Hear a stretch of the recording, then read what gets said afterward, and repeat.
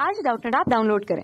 Doubtnut पर अपने सभी गणित, रसायन विज्ञान, भौतिक विज्ञान और जीव विज्ञान के डाउट्स का करो सफाया।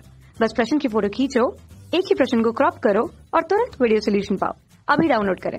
दिए गए प्रश्न में कहा गया है कि त्वरण एवं बल के विमित सूत्र क्रमशः निकालिए जहाँ हम सबसे पहले यदि त्वरण की बात करें, तब त्वरण को हम जानते हैं कि वह किसी स्थिति पर, किसी वस्तु के वेग में परिवर्तन की दर को प्रदर्शित करता है वेग में परिवर्तन की दर।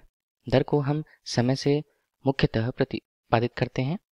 एवं वेग में परिवर्तन को यदि हम कहें, तब प्रारंभिक वेग की स्थिति और अंतिम वेग की स्थिति। जैसे अंतिम वेग को यदि हम v2 कहें और प्रारंभिक वेग को v1 कहें, तब यह वेग में परिवर्तन को दर्शाएगा और एक निश्चित समय अंतराल, जिसे हम t से प्रदर्शित करते हैं, यह उसे बताता है।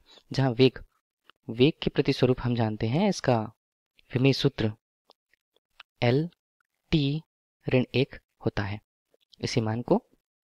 यदि हम त्वरण के सूत्र से विमेय सूत्र के लिए रखें, तब इसका मान हमारे लिए एल टी ऋण एक प्रस्तुत होता है और जो टी है, समय समय को टी से प्रदर्शित किया जाता है। इस प्रकार त्वरण का यदि हमें विमेय सूत्र चाहिए, तब वह एम की अनुपस्थिति एम शून्य एल टी ऋण दो से प्रदर्शित होता है। यही प्रश्न में पूछा गया था। दूसरी स्थिति पर पूछा गया है कि बल के विमेय सूत्र की गणना कीजिए। दूसरी स्थिति पर यदि हम बल की विमेय सूत्र देखते हैं, तब बी बल। बल जो है, एक स्थिति में न्यूटन के नियम के अनुसार द्रव्यमान गुणा त्वरण के गुणनफल के बराबर है, जहाँ द्रव्यमान को हम एम से प्रदर्शित करते हैं एम एल शून्य टी शून्य।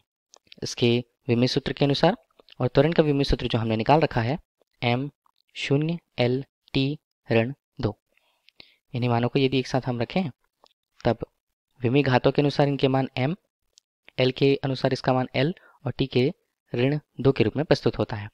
यही बल का विमेय सूत्र होगा। प्रश्न में यही पूछा गया था कि त्वरण एवं बल के विमेय सूत्रों की गणना कीजिए। यही उनके मान है। धन्यवाद। कक्षा छठी से बारहवीं से लेकर NEET I I T JEE वो एडवांस के लेवल तक एक करोड़ से ज़्यादा छात्रों का भरोसा। आज ही डाउनलोड करें डाउट डाउटनेट ऐप या व्हाट्सएप करें अपने सारे डाउट्स आठ चार सौ चार सौ चार सौ पर।